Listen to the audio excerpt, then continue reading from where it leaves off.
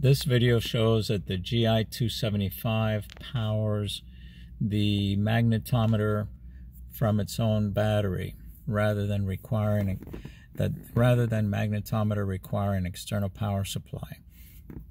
As you can see the master switch is off.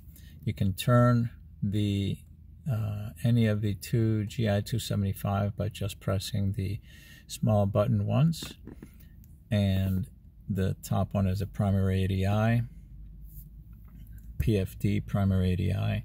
When it first comes up, it shows that it's aligning itself and so on. This little message on the screen will go away and you'll see that the heading is now red Xed until it aligns itself. Then it will come alive with the heading, uh, current heading.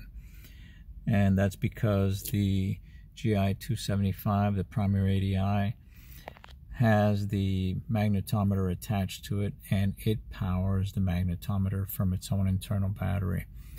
The master switch is still off and it, nothing else is on, just the GI 275 and you can see now heading bug is up and the heading is up.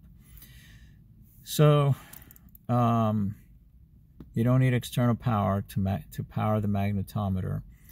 It will be powered directly from the GI-275 and either through the master switch and then through the GI-275 to the magnetometer or from its own internal battery. Let me shut this off now and turn on the MFD standby ADI and that does that and I'm going to turn on the MFD standby ADI with its little button. Comes on boots up. I need to get rid of this first message. And there we go. And it's aligning itself. Heading has failed as a top unit. Let's see what happens. As I said the magnetometer is attached to the top unit, the primary ADI.